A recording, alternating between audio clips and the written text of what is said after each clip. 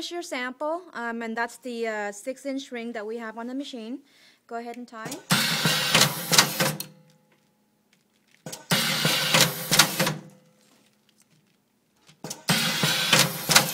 And let me just close up on the product here.